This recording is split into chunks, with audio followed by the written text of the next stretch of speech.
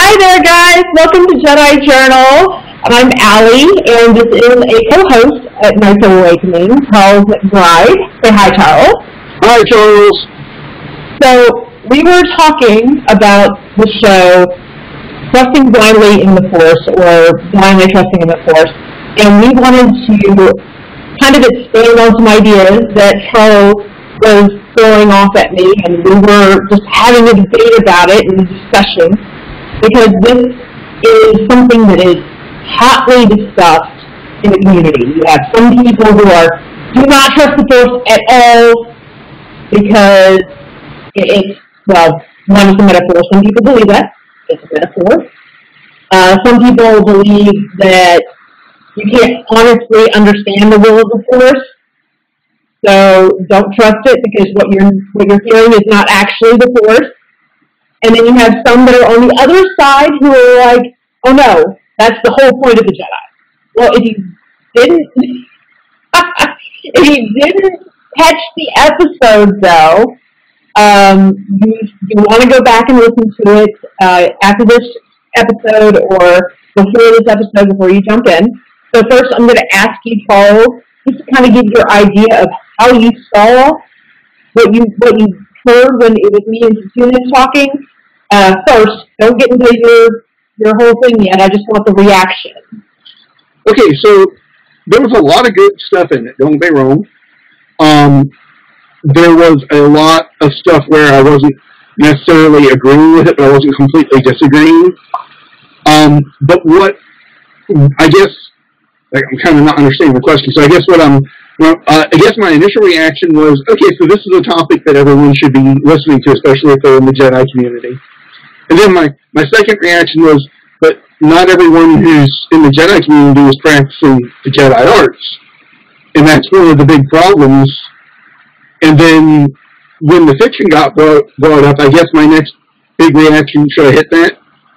Yeah, go ahead. Yeah, my next big reaction was kind of like, yeah, but the even in the fiction, not all of the Jedi trusted the people above them. When someone said, well, you know, trust in the Force, and they were, you know, a step above you on the ladder, you have guys like Qui-Gon, they were like, okay, well, that's fine. I will trust in the Force as I feel it move me. Um, you know, but even then, when you had a council and things like that, you had a council of people that was developed from a tradition that was passed down in the fiction over a thousand years, and they had weeded out things like bad actors, and um, bad influences in it. And you had, what was it, five, ten dedicated people who sat in meditation trying to understand the will of the Force. It's your, that's your council of masters who sit there doing that. In the Jedi in the real world, I mean, I'm not as in the community as I used to be, but I still have some ties in it. I don't know of any of the groups that have a council of even three people that are sitting in meditation every single day trying to discern the will of the force as something they're doing for more than 10, 15 minutes in a day. So when I say sitting there for a day, I mean like, okay, I woke up at you know 6 a.m. I start I start uh, with my cup of cup of tea and you know feeling the will of the force. At 8 at 8 a.m. at 8 a.m. I take my first break. I take my first my first 15 minute break and I come back at 8:15 and start focusing on the will of the force again. And at 10 a.m. I begin doing physical exercises to ready myself in case I have to fight the Sith Armada or whatever whatever villain of the week is going to show up. And then after my physical training at you know 12 12 p.m. I begin again focusing on the will of the force. I don't know of any group that has individuals dedicated in that way. Right. I don't, that, it would be difficult to find people to do that. In your line of work, for anyone who doesn't know, he runs a magical shop. Yeah. shop. Do you prefer magical? Uh, the, the, the proper term is I am a practicing professional mystic. That's the best way of putting it. Because not everything I do is magic. Not everything I do is necessarily honed in that way. Some things are more things like reading with tarot cards and things like that. Uh, some things are work. And a lot of times I act as a kind of counselor for people uh, providing advice on their destination, which oftentimes results in the words, well, it looks like you need to train harder, meditate longer. So much so. kind of mentioned about how you can't do a whole episode about that unless you just put yourself on repeat for about ten minutes. I, you know what? That's the hardest part of doing doing the labyrinth too, is because I really want to sit there and be like, and if you trained harder, this wouldn't be an issue.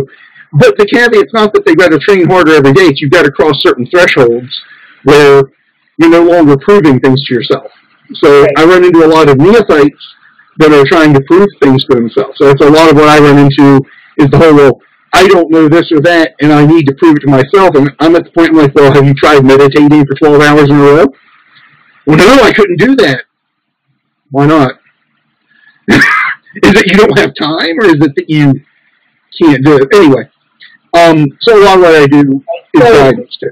Right. So in your in your case, you actually have to be in a position where you can do that. But let's say in my case, where I'm primarily a stay-at-home mom, um, I do virtual assistant work, and I'm a security guard on the weekends where nothing happens. So, uh, you know, it's I look at that look at it from that perspective, and I have to recognize that a lot of people are in that situation where they don't have anything they have to fight later on. So they don't have the pressing, the, the feeling of pressing need to actually get up and meditate and then do other arts that help hone them to a point where they can fight against things. We live in a in a country where we have the freedom to not have to worry too terribly much about that. Um, obviously, there are countries where they do have to worry about that. Off the top of my head, Iraq, Afghanistan, anywhere where terrorists happen to be very prevalent, and you have places in Africa that have that. And um, so, even having the, the, the feeling, okay, I need to get up and I need to do this is difficult for the average person who's in the Jedi community. That doesn't mean that you shouldn't. There are other things that you can go in and against. For example, you've even said it, you have people in your life all the time that you can talk to, and they need they need guidance. If you're in any position of leadership, that is something that you have to be tuned into with those people. It doesn't have to be the epic battle in a space war in you know Star Trek. It can be the battle of of will to survive in whatever environment. and this is something I was saying to my wife too, related that, you know, the Jedi in the real world aren't the Jedi in the fiction. No one has a career as a Jedi. Even even one of the people that has a career as a uh, soldier, I will use the proper term on that, who's a close friend of both of ours, he doesn't, at no point do they walk up to him and they say, look, what we need you to do is we need you to meditate for two hours today. So he gets honed in a very specific direction, even though he's got the whole warrior part of it built in. Where yeah, they're going to look at him and they're going to be like, yeah, hit the gym, hit the gym for four hours. They're not going to tell him hit the meditation pillow for four hours, Right. So- him. and he has to pick that. He has to pick his times when he does that. We have a lot of really good people. I know one who was a, a mechanic who now I believe does software engineering. Really great individual in the community. Um, not going to name names. Anyone who knows him will know who I'm talking about, though. And I doubt while he's writing and debugging code or working on servers or whatever it is he's doing right now, that he has time to meditate while he's doing that. I've done tech work. I know you don't have time to sit in meditation. You can be in a meditative state. But that's that's very different from sitting there trying to discern the will of the force Very. for for for four or five hours at a clip. He doesn't have five hours at the end of his day. If he has an hour, it's got to be focused on bettering him. So the idea, meditation. yeah, the, the which that's where it gets into trying to form a real world council like you see in the movies to put an over guidance first, and then everyone else, you know, goes with their own second. I yeah, you know, I checked, and the mouse does not want to fund anyone to do that. Um, it is working on building uh, some advancements to its people trap that I've seen. We're now going to be able to catch people with distances between them in the trap. There's a six foot of distance in a giant people trap for a mouse to expedite the process of catching them. Um, but I don't expect that Uncle Georgie is going to show up in the bankroll us at any point. Um, you know, as a practicing mystic, I always jokingly say that I can't take the name Jedi anymore, and it's true, I can't. I can't put it on a web page. I can't announce it because if I do, it gets tied in professionally. But I still practice the arts, and it's still a core of a lot of what I do because it's functional. So, also, like for the people that don't know me from the old days, um, I'm not someone who doesn't know the community or know the arts. I'm someone who, as a practicing mystic, knows that my world works better if I don't talk about Jedi things all over my website, all over my self-awareness exterior. Yeah. Yeah. So yeah, and so so we're kind of getting to this point where we understand, we understand that this is not something that can easily be done. So we can't build the same tradition that we have in the fiction to tie this all back to where where we kind of got started with. It would be very very difficult unless somebody wants to bankroll and pay me to do this job. Um, you know, it is what it is. By the way, if you want to donate to KOA, I'm sure we're accepting donations somewhere. We would love to make this our, our actual job. Um, or at the very least, a part-time job for Charles, since he's doing so well. well, you know, years and years back when Ashla Knights was a big name, we knew we knew that uh, Master Thompson, the other Master Thompson, was uh, involved in investments and bankings and things like that. We didn't know. What's that? No relation. Very, very different. He actually looks more like me than he does like you. Um, but we we knew that he had a certain amount of funds, and that that was what let him keep the server. And this is back when I was dirt poor, and when uh, David was dirt poor, and Justin was just above dirt poor. And I remember Justin pulled us to the side one day because he said, "Well, I guess you know Master Thompson could bankroll all this." And he's like, "How much?" He, he looks at us both and he goes, "How much money do you think he brings in in a year?" And I'm like, "I owe him oh, like a quarter of a million. And he's like, "A lot lower, way lower." Oh, I guess he won't be bankrolling a temple then. But it's like we don't have anyone in the community, even people that are well off, are not yeah. that well off that Yeah. they could that they could found a temple and pay everyone to meditate. Right. It's, you know, Yeah. And if you're in the if you're in the real estate business like I am, and you see some of these prices of these houses that my clients are selling, insane, insane. And I would never live in the New England area because of that. Yeah. So, okay, so getting back on track because we do this all the time. We just go on tangents. I'm going to try to focus this in you and I were talking before we, before I was like, hey, stop, wait, just stop, let's, let's not talk about this until I get us all recording. You and I were talking about the idea of understanding what concepts and understanding what it actually means to trust it. So, let's, let's go off that. okay. So I'd be more than glad to. So first, if you're treating the Force as just a philosophy, um, none of what I'm going to say applies because if it's just a philosophy, then everything is just psychological constructs. At which point you're just trusting your impulses, which is not safe or sane or rational. Um, if you've not been doing any kind of spiritual work to connect to this as an outside power and you're treating it only as a philosophy, this is my opinion. As a practicing mystic, this is what I would tell you if you sent me an email and told me this. I would say, stop, meditate on this first until you can actually feel it. because if it's just a philosophy, then obvious. I, I hope that it's obvious. If it's just a philosophy, you don't trust that as a guidance then. Because that's basically saying do whatever you want, and if you get hurt, so what? That that's that's an unsound way of reasoning. Now, if you are practicing extrasensory things that go with this, then the Force is more of an explanation as to why all of that works. So from there, this gets into understanding it, and they kind of hit on this in Star Wars, and it was so beautiful that they hit on this in the first movie, and it's why an entire generation of people now practice energy work for all forms of mysticism, in my opinion, because this is where we all see it and we go, oh, that makes sense, and then we go do something else and we, we, we prove this in with it.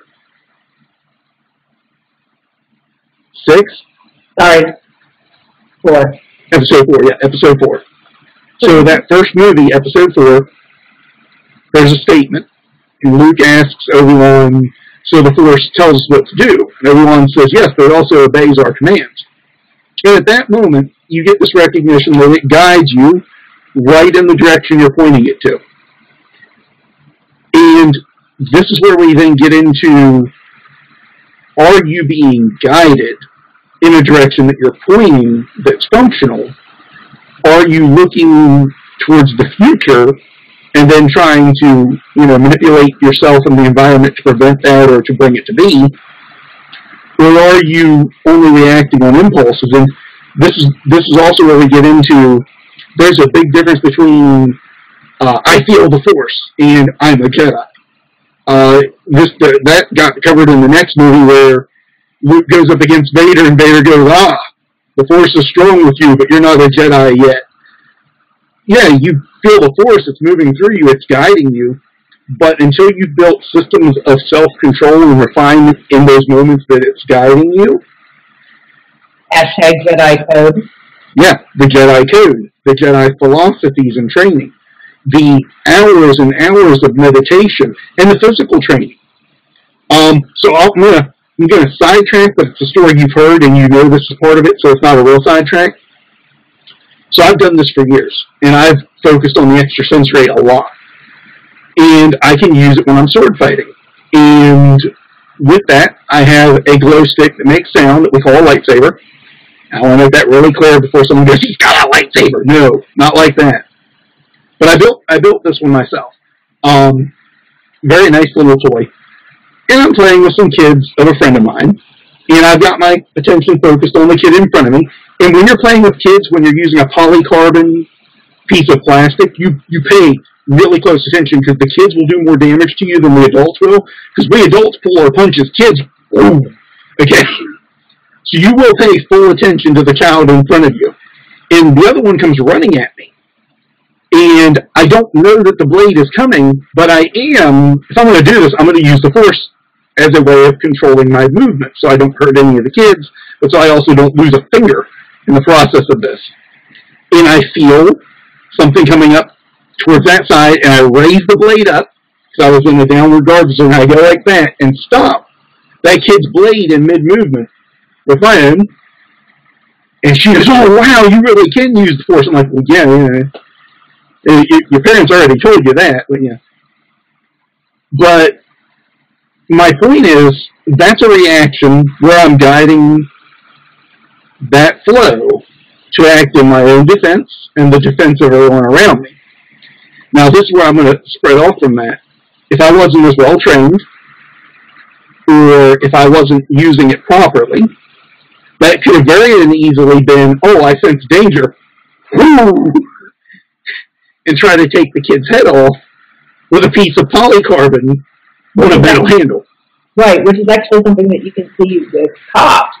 Yeah. For example, when they're out on the field, they may see something that's not necessarily there. And, um, and it's not because it wasn't there, it's because things aligned in such a way that it felt intention somewhere. They didn't know what direction it was coming from. They were in the heat of their own their own adrenaline, which you know, if you, if you look at it, you recall, early in the Jedi community, we've kind of gotten away from this. We had three tiers of the Force. There was personal force, which would be the adrenaline running through you, and, and all that hyped up energy that you have. There's the living force, and then there's the unifying or cosmic, depending on how you want to look at that. They are technically different, but that's not for this discussion here. So I'm just letting you know, we did have that. So when you're, when you're relying on the force, you have these different parts of the force that you're relying on. It's all one system, but you're more in tune with the one that's the personal level. And you and, uh, like if you're in a fight like the one that Charles described, you would want to tap into the living force because that's the most immediate connection that you have everything. When you're in meditation and you're trying to discern what the force wants you to do, for, for example, that would probably be more something that you connect with a cosmic or unifying factor. And it really just kind of depends on what you're what you're trying to do with it. it, it that's not really a hard fast rule. No, that that's good, but you would also want to meditate on where that personal force was guiding you at that point. Yes. Understanding the self, because it is way too easy to set dominoes up and tip them in a direction and go, I've got to walk in this direction now. It, you know, the, the hardest thing I ever did in my entire life in terms of anything combat related, anyone who knows me knows that I used to train to fight. Hardest thing I ever did was not walking into a fight. That took more because I knew that I had just set myself up to want to walk into that fight. And I had every reason to. And I could have wrote it off as self-defense. And isn't that great to be able to say, I know I can check that box right now. I can get them to swing first. Right. And there's the thing, that's not the force guiding me. That's not some higher understanding, and it's certainly not coming from a point of peace and knowledge. Yeah. It's coming from anger and rage. Yep. And that's where we get back to that code. You know, if you don't have that code, the personal force gets in check with the code. Yes, exactly.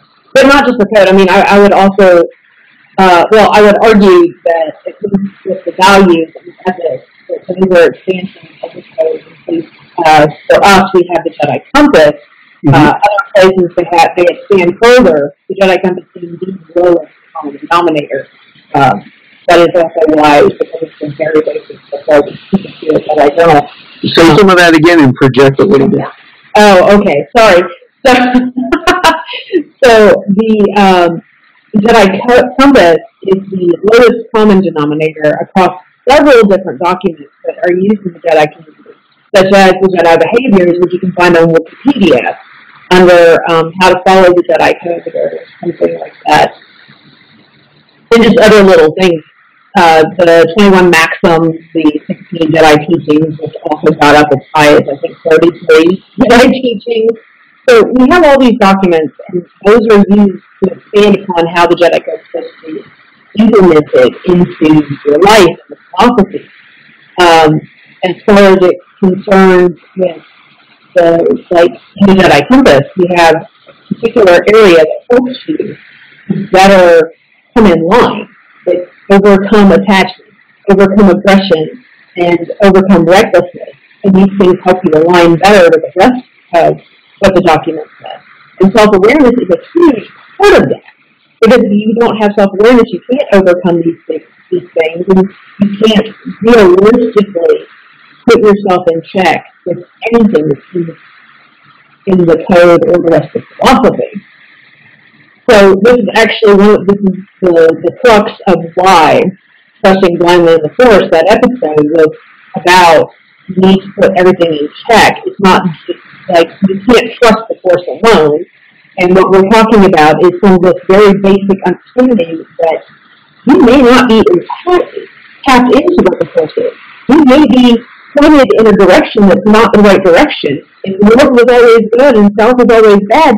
There's degrees on either side that you It's can just- go to. It's really sad that they don't address this in in the movies at all. Like, you know, like maybe a moment where a, a fabled character of great wisdom and knowledge is guided to understanding of a threat of his apprentice and ignites his lightsaber in a moment of misunderstanding. It's so sad that that doesn't exist in the movies at, at any point. Oh wait, and that's the movie everyone hates, and I love that movie for one That's reason. one of my favorite movies too. Actually, I have an episode where I draw exactly from that scene. I wrote it last night.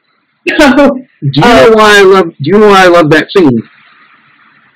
because depending on who's telling it at different points in the movie, it's totally true for both people. Yeah. And they both have reason to see it the way they do. Yeah, even the first version of how he put it. Yeah. He tells the story twice. Yep. And and then he goes back to what Qui Gon said, or not Qui Gon, uh, Everyone. Obi Wan in the original three films, where he's like, it's uh, it's from a certain point of view, hmm and that's just beautiful because you see how Luke takes that and puts it forward. But I want to caveat that Luke, as a Grand Master, knew that there was danger, ignited his lightsaber, and realized that he probably shouldn't chop people up until they've done something wrong. And this is where we get into, are you skilled enough in the Jedi arts as a Jedi to be a Jedi while you're trusting this guidance, or are you still at that level where you're going to react on the impulse? Yeah. And that's that's the big crux of this. Yeah, you may sense that there's someone in need, and that's easy to deal with because you get guided to where they're at, and you go, "Oh, okay, I can help this person," and that's that's, that's when it works well. Yeah. You're able to help them, you need to know how to help them. right? But if you're able to help them, that's that's where it works well. Where it works poorly is when you see someone having a mental breakdown and you sense danger coming from them, and you go, someone's got to stop this person, and rather than calling for the police or calling for an ambulance and a medical team, you go, it's a good thing, good thing I'm here with the force. the force of my right arm and the force of my left arm. Find the energy heal before you start to freaking call somebody. Yeah. I need an ambulance over here. Right, or or you, or rather than you know, that's what he said. Maybe maybe you try to do energy healing, and the person's bleeding out. Well, that's not the time for energy healing. This is where you need to disconnect from your predisposition at that moment and apply pressure to the wound. Find a tourniquet. Yeah. you know, there's there's this certain level of awareness that is written into the characters that inspire this philosophy that some of us are there some of the time and some of us are not there some of the time. Most of us are not there some of the time. Ever. Yeah. And, and that's something else that we have to recognize is that some of us are not there ever. Yeah. And if you're not there, you can't trust the will of the force to guide you because you're not at that level of self-awareness to know that you're feeding your own ego by trying to reiki a bullet wound through the through the liver.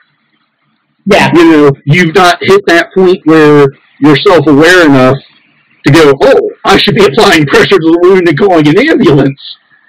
You're you're still at that phase of, oh, I've got to satisfy this part of my ego, and wouldn't it be great if I healed this wound with, the force? It'd be like, yeah, that would be fantastic. Do that while applying pressure and calling an ambulance.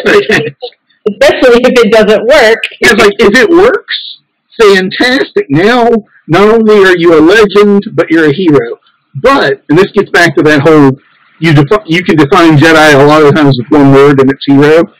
But if you don't, if you are still applying pressure to the wound, you're still a hero.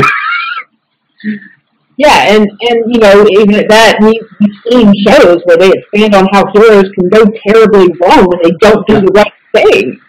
Like, there's a, um, what is the name of that show, The Boys, on Amazon? And it is a fantastic point of how people want. They have this ability. They actually have the ability, and they go out and they try to use it for good. And sometimes they get it wrong, and sometimes they are so full of themselves that it goes awry. So you, you have all this stuff working together, and it, it doesn't necessarily mean it's good or bad. And Force, as they say in the movies, the Force has both good and bad. And Rey's, Rey's words there, he's like, your problem was, Luke, you thought his whole thing was decided. You thought that's what the Force was telling you. And you can't trust the Force alone, because the Force gives you tidbits. Yep. It doesn't give you the whole story.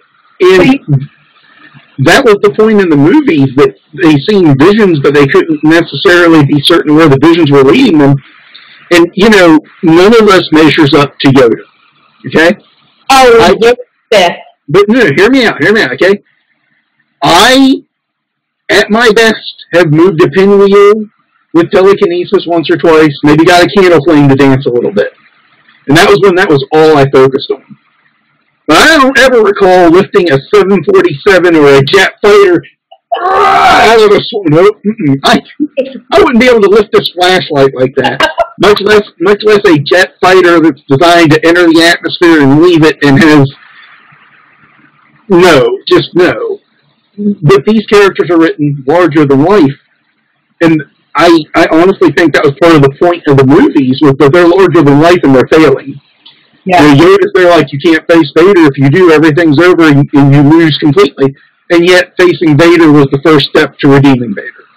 Yeah. So he can't trust his visions and what he knows is coming any better than Luke can because Luke sees the vision and goes, I'm going to go in there, I'm going to save my friends because I've seen a vision.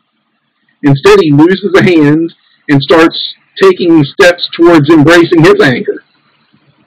Yeah. You know? So, so legitimately, if you guys want to trust the Force in the way that Yoda did, the only way that you can say that is if he was a Sith.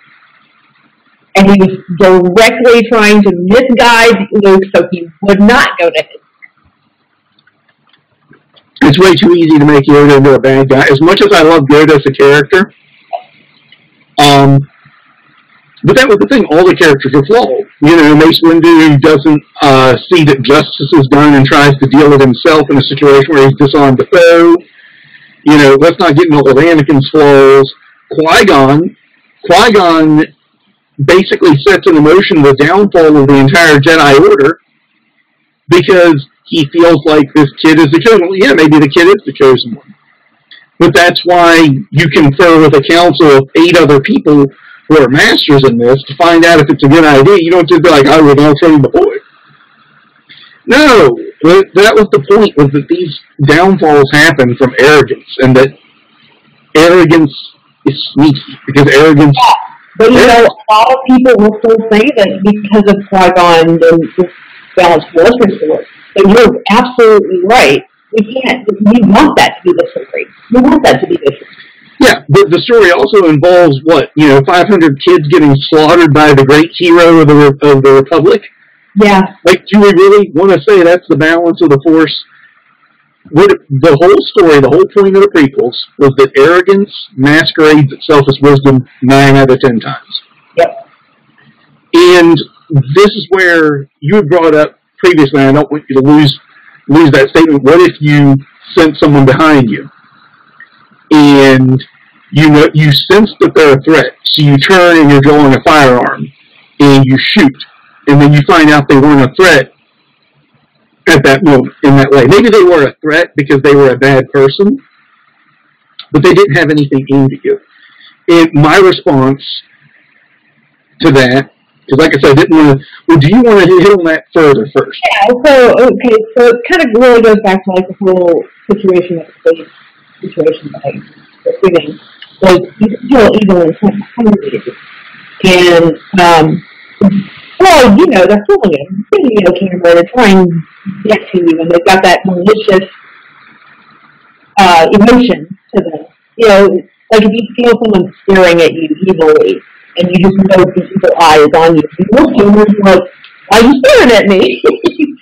uh, it's very much the same, and so you can, you can have this idea that there's someone behind you, malicious intent, and you're, and knowing that that's there, you turn around and you see it, and all it turns out is that they actually just had a video camera, or, or even worse, if you hit the wrong person because you went the wrong direction.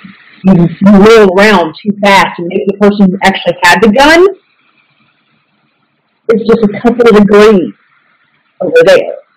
And so then they uh, they hear the bang and let's just say that they don't they don't fire back because they get scared or they suddenly drop their weapon. But now you hit somebody else.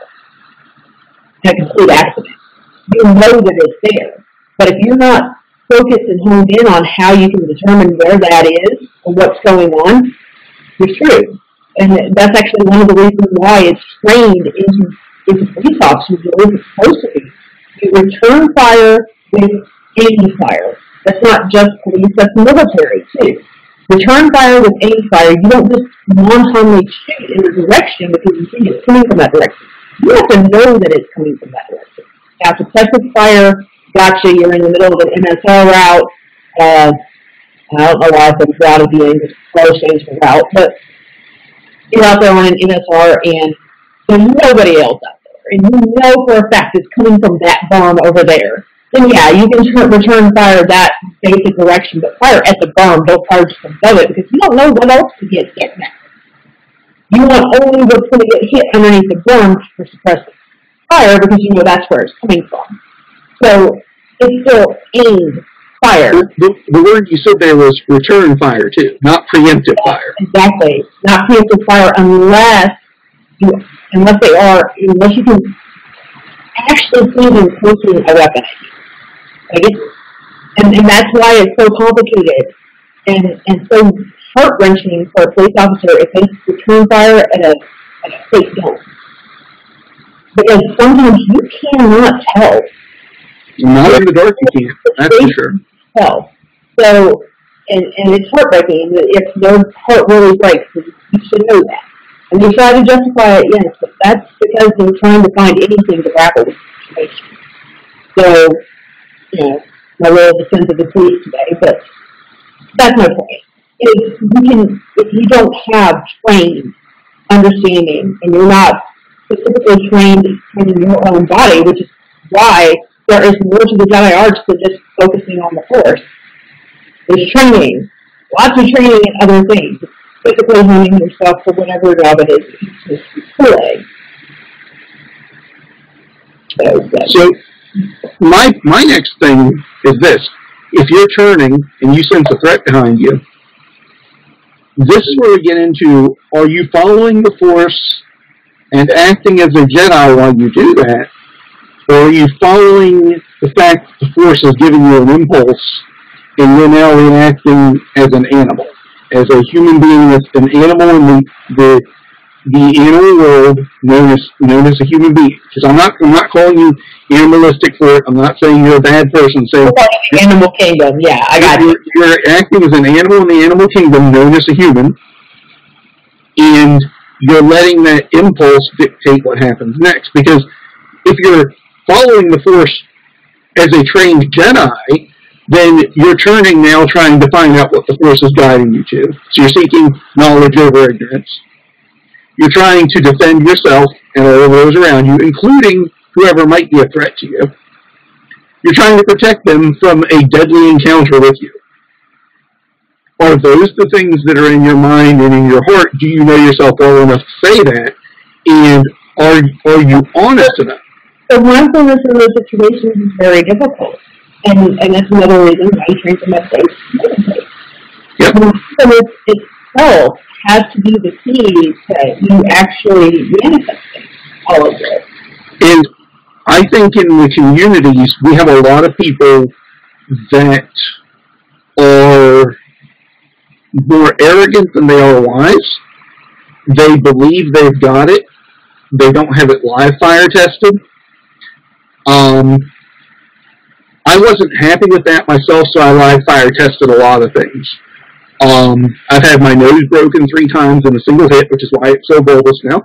Um, I've taken swords across the head. Yep.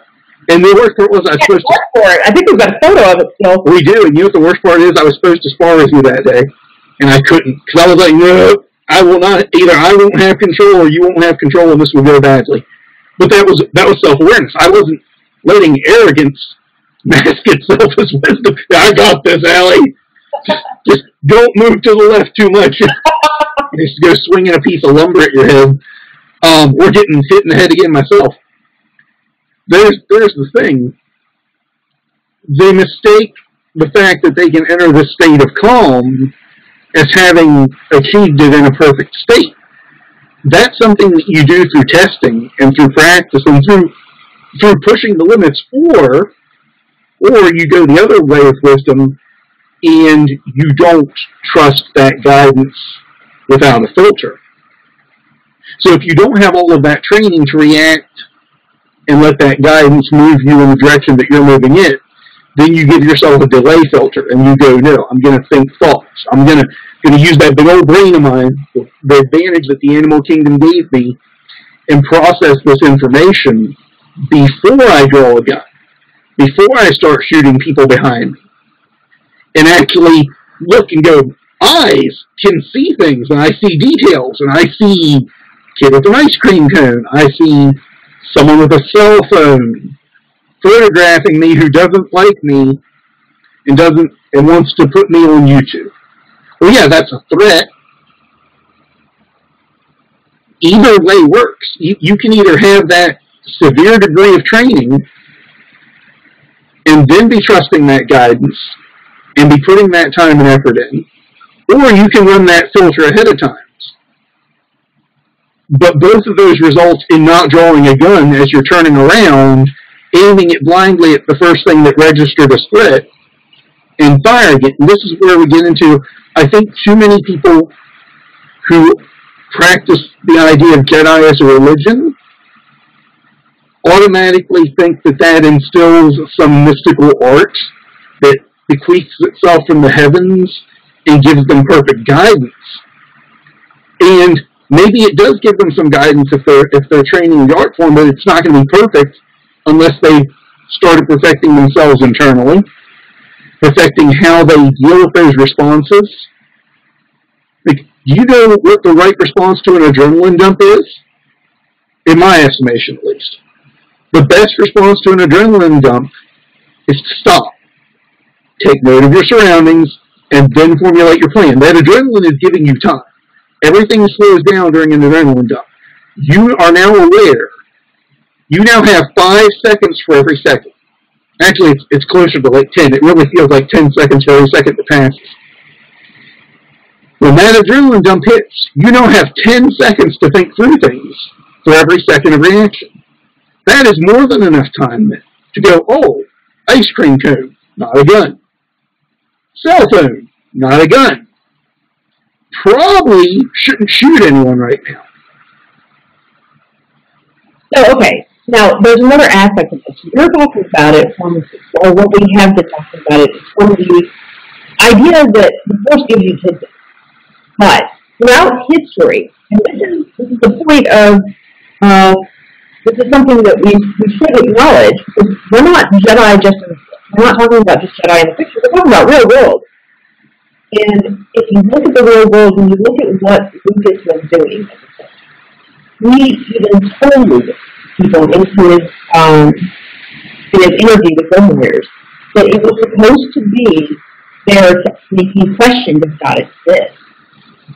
And he he didn't necessarily say he cares which God you end up following. I mean, you know, his you know, he was using the term God in the bigger the bigger way where you start stopping, where you stop looking at books and you start looking at experiences. Well, he wasn't just talking about it from that perspective, though, because I mean, we all know well, you know, if you know anything about him, you know that he identified for a long time, if not still now, as a Methodist. Yes. So the God that he decided to follow was a God who, in the Bible, legitimately speaks. Mm-hmm. So we know that, that that God can communicate, and we also know that throughout history, what, what language does he speak in? well, he's, he's supposed to be able to speak in any language to create it, or be involved with, or learn them as a whatever. He created, evolved. I'm not really sure the right word for this one on how he able to speak any language, but he is able to speak any language. He's God, okay? I'm, I'm going to come back to that later. So, you know, I'm just planting that like a seed, and as a good gardener, I'm going to let you water it for me. Put the back of my tree okay, so my point is, though, is that Christianity is not the only one that has a God that speaks to man. And uh, Socrates, actually, he believed that he had, it, it's what you would basically call a personal God, a, a Dan. Which, who knows how they actually said it beforehand, since we're getting into linguistics. But daemon is the way that we would say it today. Uh, it's, it's, it's personal God that would speak to him and give him uh, information. And we hear about this like only once during his trial, where the one that Plato, I think, Plato who recorded it. And towards the end, he says that the reason why he, he opted in to be put into exile was basically because he was family. So he like, didn't tell me not to, didn't tell me to. It just kind of seemed like it was that's the direction it was going to go in. So I could have done that or else. So he goes into exile, but the whole point is that he was in communication with them. He was talking with it. And these personal personal gods or even just in general the gods, the Greeks knew that they were talking with the uh, well, some of them did. They would get oracles and they were prophets at the time. Um, they audibly heard these voices. So you can't just look at it and say, well, okay, it's just there. Because there are examples throughout history where it is audible God. Now, what those are, we could go into lots of different theories, whatever. I'm not here for theories. I'm just here for the basics. This is this is a defined truth that we have throughout history. So let's say that this God. Uh, so actually, no, we'll use one out of the Bible. We'll use Linda. So Yahweh goes in and he says, "Hey, I need you to kill off everybody in Jericho. You're going to kill them all off. Joshua and, or Joseph rather, Joseph and a few other people.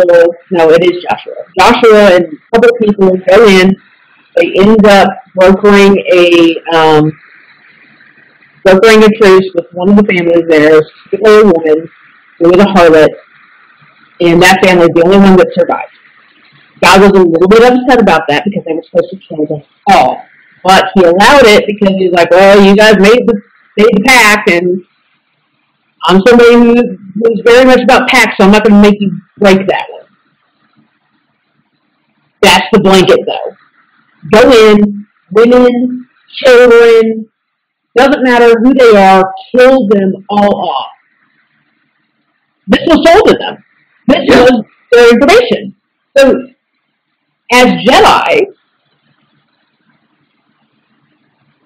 you look at that. Do you trust the Force? So, so here's my thing. Assuming that that's what you would akin to it. Not everybody God see the Force, but I'm just saying, assuming that the Force did something like that. So, two things. Number one, again, what language did it speak in? The reason I asked that, I planted the seed early because I wanted to grow this tree, and I knew you'd water it for me. So, any external anything that can talk to everyone all at once could not be talking with language. Why is it that the grammar of the thing that speaks is always in a grammar more or less like our own? The words are put together in the subject-verb agreements that we understand. Why does it follow our structure if it's a vast, infinite thing? Because you're getting an impulse that's being turned into words in your brain. Because this here, this here likes stored information. This is my reason. Well, see, this is the thing. If you go from that perspective, then you're actually not helping your argument. Because let, let me put it to this. Let me put it this way. We're not talking when we're talking about something like this. I mean, talk to people who believe that, not to be, not to give them something that you can explain away. You can explain away that. I want you to come from the position of that is actually what's going on. There's a That's, lot. that's hard for me because that's hard for me because um and again if there are any giant mice listening this is not me uh making the claim but i have always went with the idea that the force is separate from everything is an undercurrent so if the force is talking to me i always ask who is talking through the force and I'm looking for something and getting information, so it's very hard for me to approach from this position, but I will attempt. Okay? I will make the attempt for you, Ally. um, and for, for our valued watchers and listeners. So, I'm there and I hear this voice. And I am convinced that I'm not having a psychotic break. Correct. That's going to be tough. Because at that point, that's the first thing I would assume, is I'm having a psychotic break. We'll assume that I went past I believe that it's... Let me put you in a very particular position so that you I already have, but keep going. no, no. I have put you in this position, but I haven't. Oh, uh, what I did not give you is being actually Moses. That's who was delivered the information. So, Yeah. as Moses, you have to understand that he's been talking with God up to this point. So, Okay, so, so the mystic voice has been correct up to this point. yes. Oh, So that that's that's the problem that you're running into. So it, it's not just a matter of you know it, it didn't just drop this on you.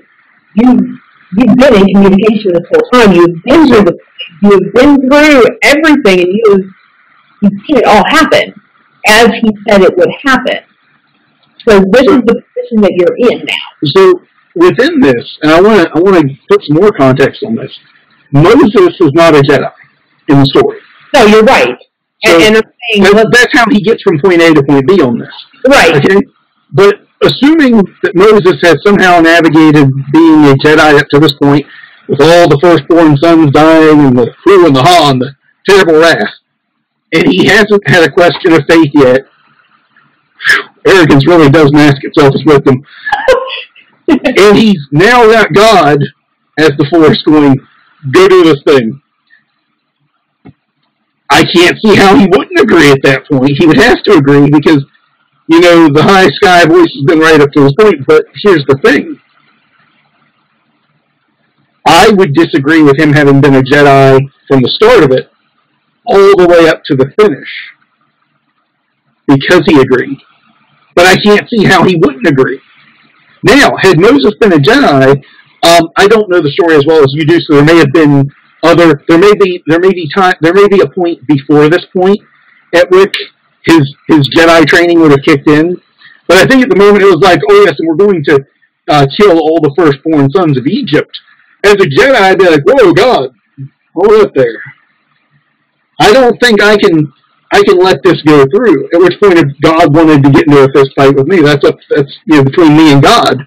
Uh, for however short that fist fight lasts, since apparently he can kill all the firstborn. And but as a Jedi, his training should have kicked in to seek peace and protection of all, even those that he was fighting against. And he should be like, look, those firstborn hadn't done haven't done anything. If you want to kill the Pharaoh off, have it. But uh, a little, little more, uh, as an old Jedi master once said to me, a little more precision, a little less accuracy. You're hitting your target and everyone else's too. So this is this is where we get to that a Jedi in the modern world. Well, are they actually a Jedi if they're listening to the voice at that point? And I would say no, because they started listening, but they weren't trusting the code, and they weren't trusting the Force to move them. They're trusting words. And words, that's a higher level of intellect. And then once you hit that higher level of intellect, that's where I start dividing Jedi from I'm this other thing first, but I practice Jedi arts. Well, and, and that's just it, though, is that there are people out there who would attribute the force to God. Like legitimate Christian Yeah. God, or legitimately, even in your pantheon, I could see, uh, I could see it happening where they would attribute Odin and Thor to. Probably the world tree. They would attribute the world tree as being the force. Okay, that's a fair point. I mean, I've actually had someone argue that Loki is the force. I have. I have actually. I got that He's the from A-Force. a paper. But you know, this is this is the other thing too. The force does not imply a lack of other forces, either within it or outside of it. and that's that's actually my position. I, I don't know if I mean I know Charles knows that, but other people don't. So my position actually is, that God is not the force; He is a will within the force, and uh, so, so there's that. Um, and so as a Jedi, one of the, I said it in the last, in the last episode on blindly the Force, but I'll say it again. In my training program, you actually have to analyze, if you're doing a bachelor's program, a god against the Jedi compass in the code. Yeah. And you have to determine, are they going to ever ask me to go against it? And if they do, who takes priority? Because this question is not just about whether or not um, you, you trust the Force. It's do you trust a divine will that is supposed to be way above your own in, in human understanding, which may or may not be the Force? And, and that's the key there. Is that it could, if you believe it to be the Force, then you have to make a determination. Are you going to follow what the Force says if it's telling you to do something that's against the compass and code?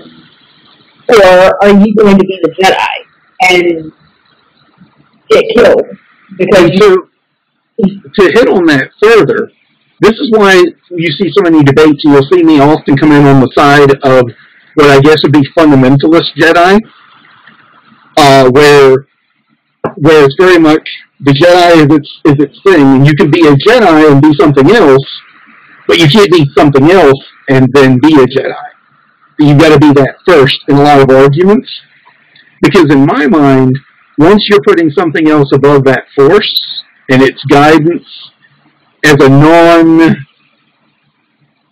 non-verbal thing, and recognizing your own part you play in moving that guidance in a direction, and recognizing that yes, you may see vast amounts of knowledge and information, but you're still living in a limited human body, and that you've got to realize that you're paring that down to a limited human body and its perceptions once you stop doing that and you go, I'm going to blindly follow X, so I'm now this plus Jedi. But once you do that, you're no longer Jedi. You're this that practices the Jedi arts. And you often see, that's why I say I often come on when I do enter the groups and have the discussions, uh, when I show up and people raise alarm bells, oh my god, he's here and he's posting. Um, that actually happened once from my understanding they had a council meeting, a group did, because I made a post. And it was just hi. It wasn't even anything inflammatory. I was like, hi, guys. um, but when you do that, when you start doing, you know, this plus Jedi, you're not really in adherence with any of the codes or ideas. You're practicing the arts, which means you're doing the meditations, you're practicing the martial skills.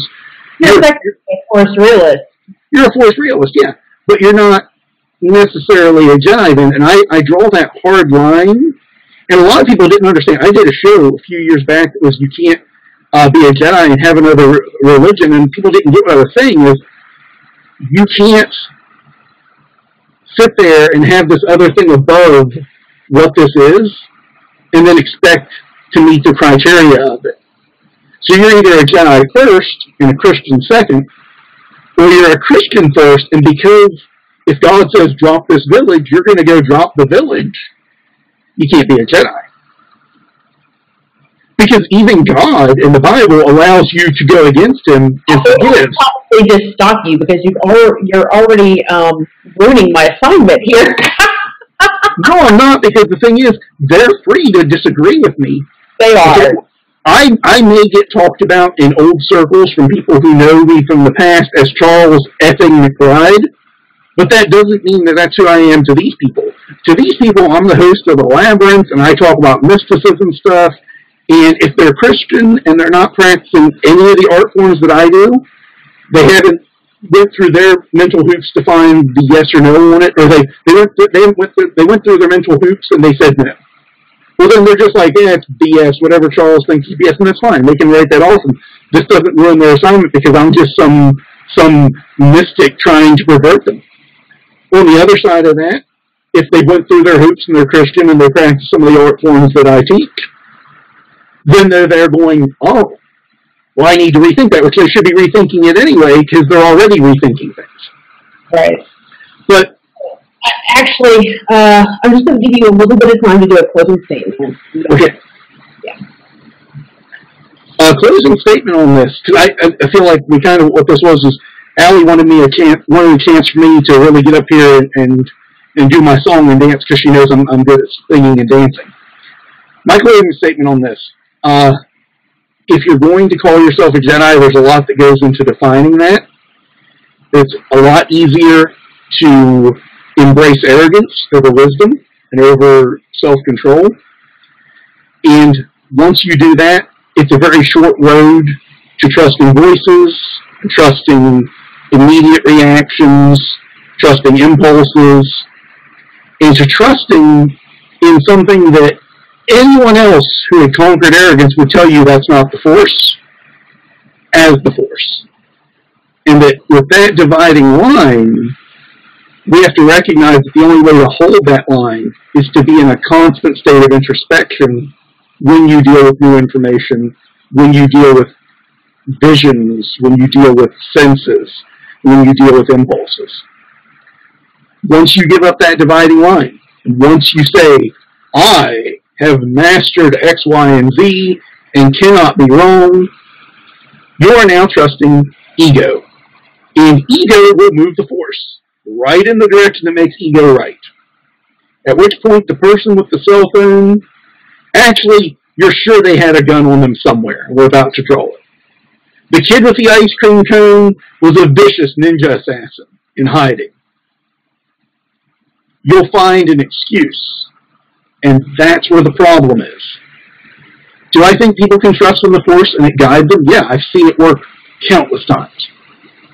I've also seen it fail countless times because that self-awareness and that introspection can fail. And that's why you take time to be introspective. It's why you hone introspection, and it's why you hone a pause in a reaction. Because there's a big difference between I felt danger and I need to immediately react with deadly force.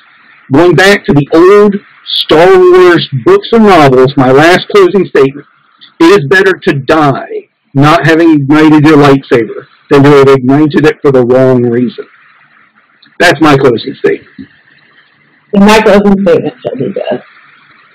If, if you think that trusting the force is only not. Secondly, the reason that I tell you not to trust the force, but to put your trust in the Jedi path and not in another person, is because that is what's going to guide you and point you in the direction that the force needs you to go. It's not saying you disregard the force. Not at all. It's about the language that we use. If I say trust the force, people take that and run with it the wrong direction. If I say trust the philosophy, then you actually have something to stand upon. So, do you trust the force? Do you trust the force? No. No, I don't think that's the right way to put it. I think it's let the force be your ally. Because that's what it's supposed to be. An ally. An advisor. But everything has to be filtered through the lens of the Jedi path. And on that note, it's time for us to run. I hope that you, let's, let's do this together, Charles. One, two, three. Oh, Awake in the night within.